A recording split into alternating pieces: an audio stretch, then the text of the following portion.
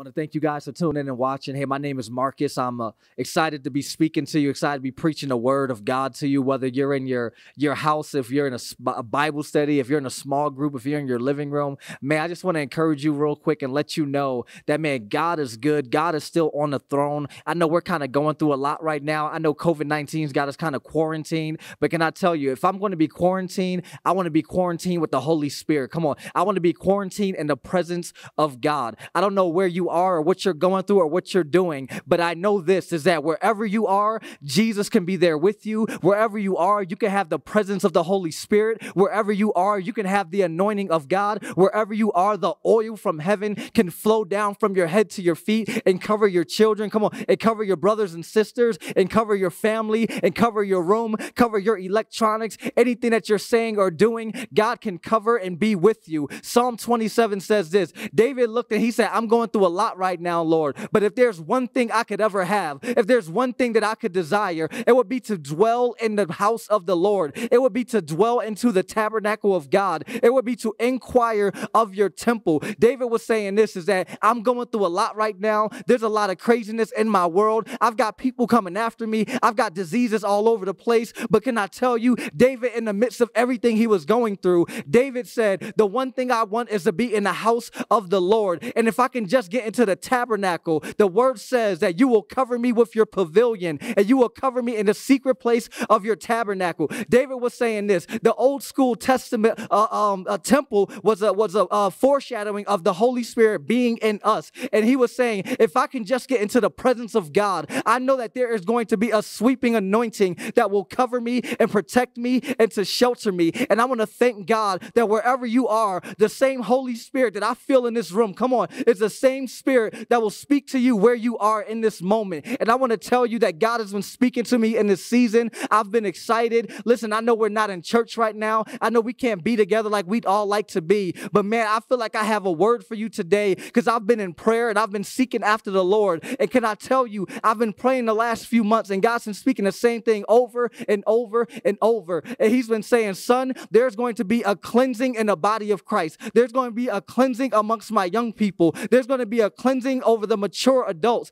There's going to be a cleansing in every age group because we've got to get back to our first love. We've got to get back to true worship and repentance. We've got to get back to not giving lame offerings. In the book of Malachi, they were the, the priests were shout out by the prophet, and he said, You are giving halfway offerings, you are giving spotted and blemishing offerings. You've gotten lazy in your worship. And God is telling us today, some of us have been going to the same youth group every day, every day, every week for the last five years. Some of us have been in the same young adult group for the last 10, five years, whatever, how long, however long the time is. And some of us has gotten lazy in our worship because we've been too busy worshiping something else. And the Lord is saying, you've got to stop being lazy with your worship. You've got to stop playing church. You've got to stop living one way on a Sunday. Come on, somebody, and live like the devil the rest of the week. But it's time to give a true offering. It's time to give a true sacrifice because the Lord is holy and he only accepts a worthy sacrifice. Can I tell you, the Lord is bringing a fire to the body of Christ. The Lord is bringing a fire to his young people. But you've got to understand that fire only falls on a worthy sacrifice. Or a fire will only fall on a worthy sacrifice that comes from man and goes up to heaven.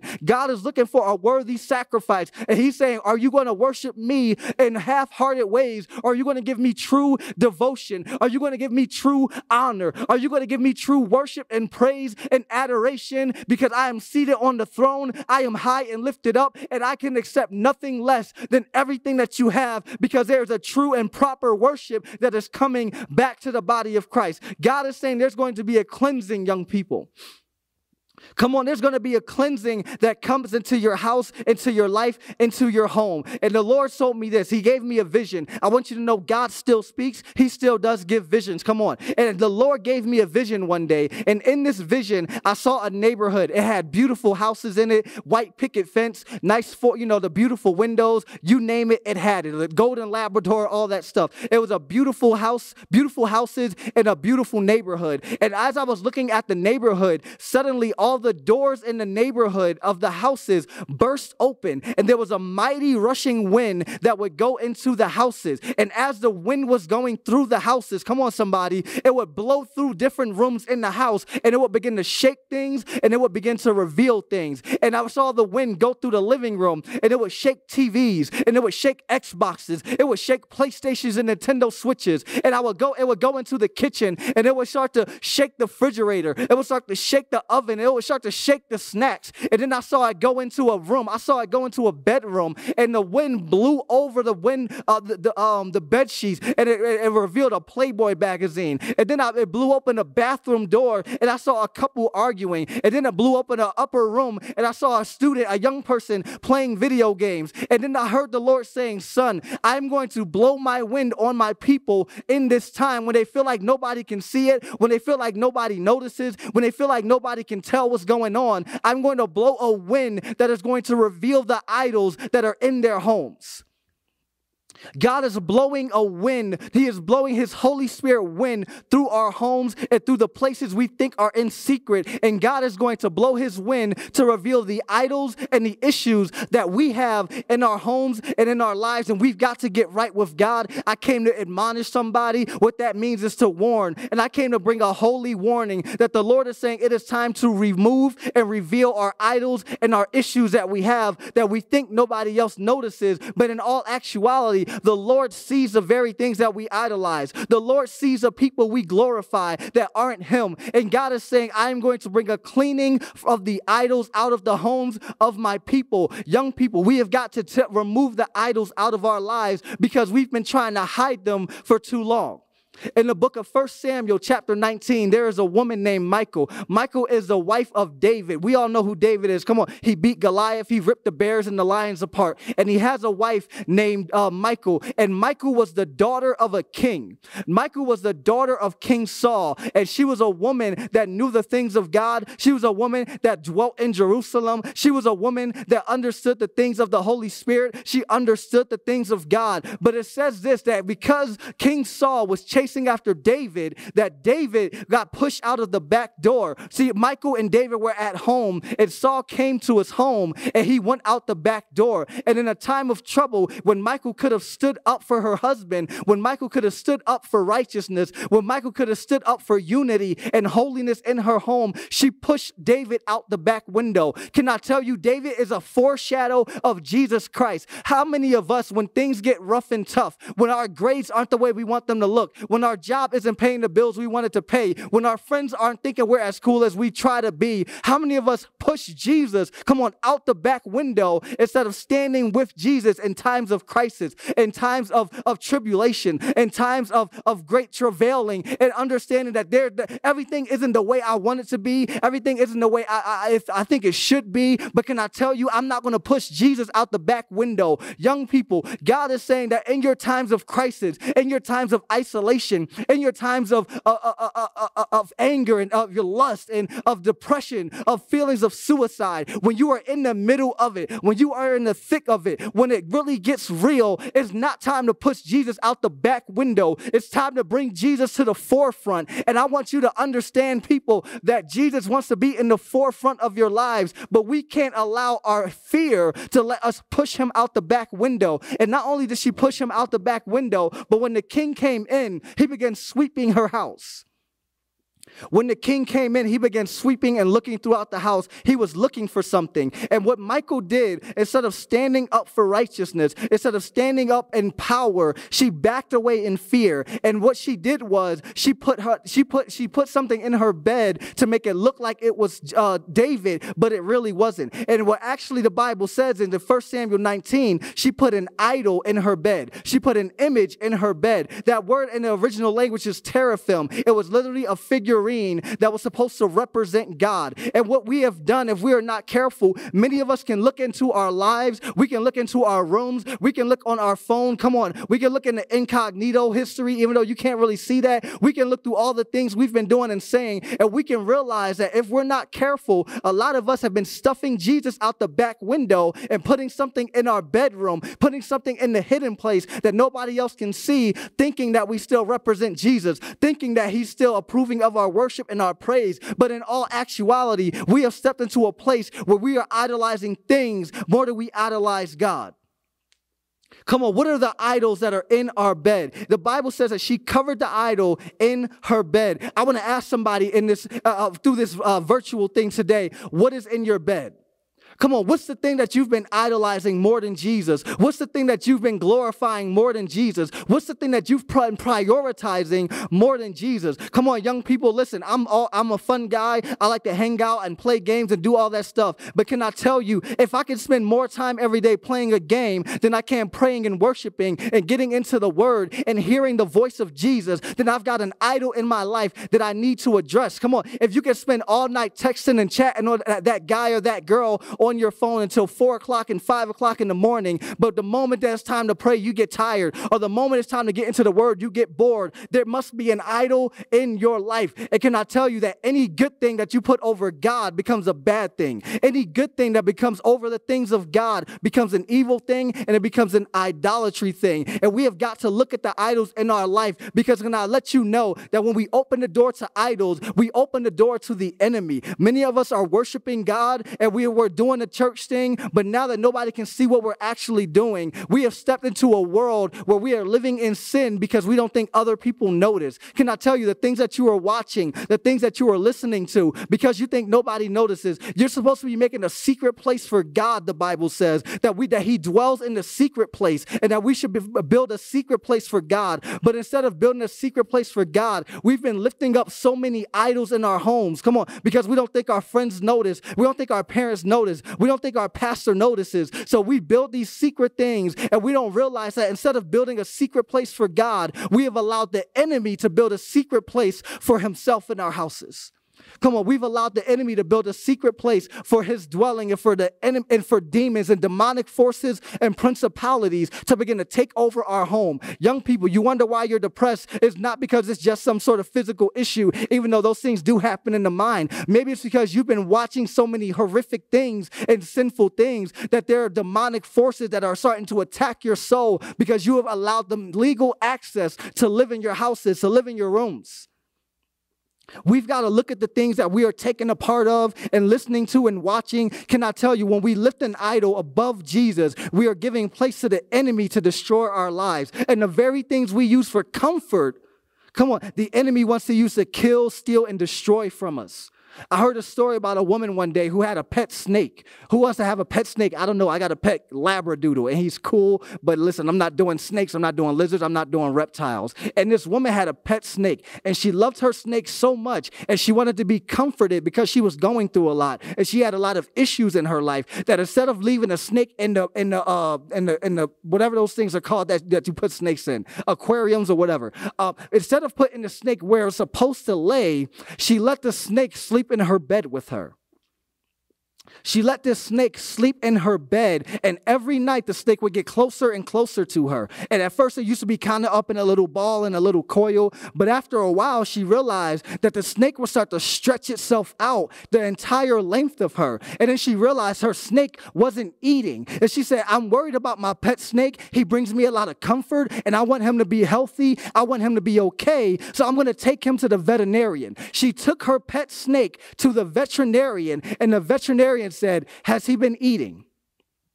She's looked and said, No, he hasn't been eating. Has he been moving around a lot? And when you put him in the little glass thing, no, he hasn't been moving around a lot. He's just been kind of sitting there. Does he seem more alive when he's with you? Yeah, yeah, he does. Where does the snake sleep?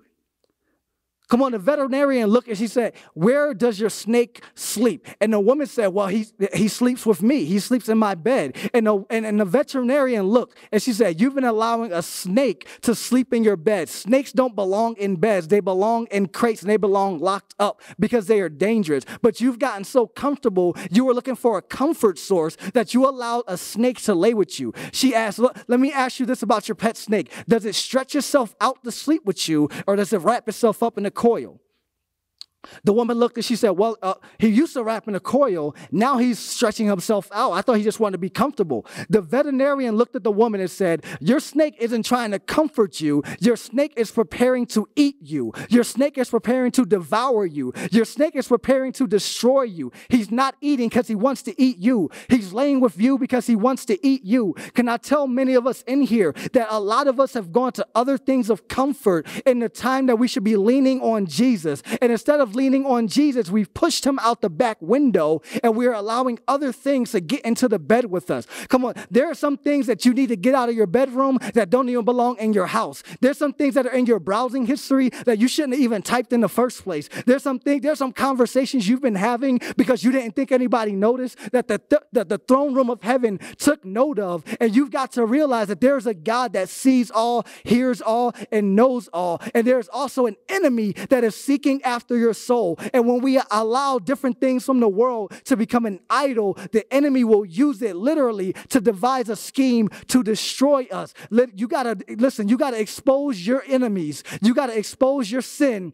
You've got to expose your idol before your idol exposes you. You've got to deliver yourself from that spirit before that spirit delivers you into the captives of hell. We have got to get right with God and say, Lord, I have been placing you on the lowest pedestal I could find, and I've been placing the things of the world on the highest pedestal I could find. And God is saying, now is the time to clean the house, to clean your room, to clean the phone. Listen, that you've been you've been annoyed by your parents that say clean up your room your whole life. But what happens when you become an adult? You realize that you do need to keep your room clean. And God is calling us into a place of maturity where we don't always need a pastor to say, you need to do this, you need to say this, you need to pray this, and you need to read this. But we're stepping into a place where it's time to grow up. Come on, somebody, so that we can go out. And the Lord is saying, in this time, I'm causing a cleansing to come into your life, and it is time to reveal and remove the idols that you have.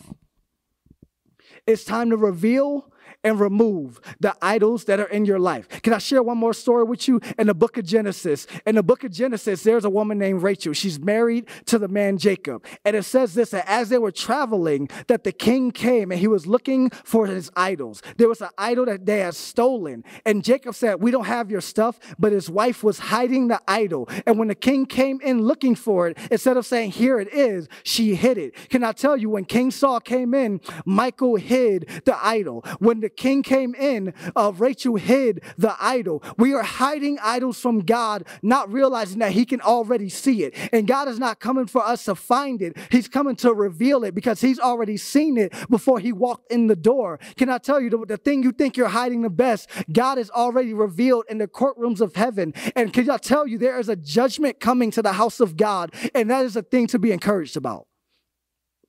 Can I tell you what the word judgment means? In 1 Peter chapter 4, the Bible says that judgment begins in the house of God. And the word judgment, at the root of the word, it means to cut away or to separate. Listen, we we need to be encouraged that God will come and cut away the idols in our life. He will come and separate us from the idols in our life so that we can walk in holiness, we can walk in righteousness. Young people, I believe there's a great move of God that is coming to our nation, that's coming to the state of Colorado. Before I moved to Colorado, listen, I'm not from Colorado, I'm from Florida. Before I moved out here, I read three different books, and three different books said there's a great revival revival come into America. And one of the places it will start is Denver, Colorado. God has got a mighty move that's coming, starting with young people. Young people, you ought to be encouraged that God says, in this time, I don't want to just use the older generation. I don't want to just use the pastors that have been doing it for 20 years. I want to use you. Young people, we got to clean it up because God wants to use you. Young people, we got to get right with God because God wants to use you. And He is raising up young people. Jeremiah said, How can I preach? For I am only a youth.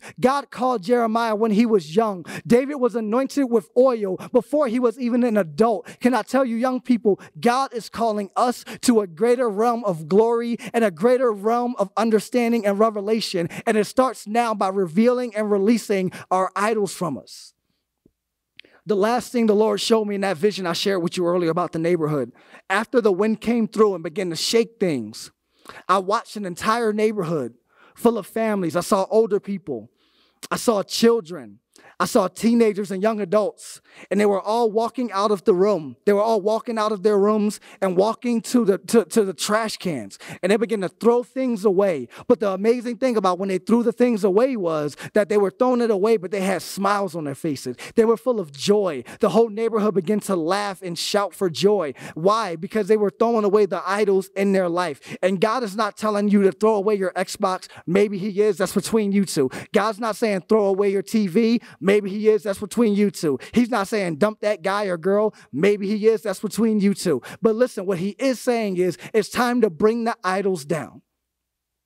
Come on, it's time to bring the idols down. It's time to remove the idols. It's time to say, I want to get right with God, so I'm going to leave the other things behind. And I believe that there's a generation of young people that are ready to stop playing church, that are ready to stop playing around, that are ready to stop acting one way on Sunday and acting another way, uh, another way every other day of the week. Listen, I'm, there's a generation rising up that's going to throw away the mask of all the different personalities they have. The personality they have at church, the personality they have with their friends, the personality they have with their family, and then the personality when they are finally alone. Listen, some of you are dealing with depression and suicidal thoughts, and I want to pray for you because I believe this. Many times it stems from not knowing who we are, and we've got to know who we are, and we are children, sons and daughters of the Most High Jesus. You are born into righteousness when you give your life to Jesus. You are been, you are listen. You are your name is written in the Lamb's Book of Life when you give your life to Jesus. Your name is written in a place that cannot be erased as long as you follow the Lord when you give your life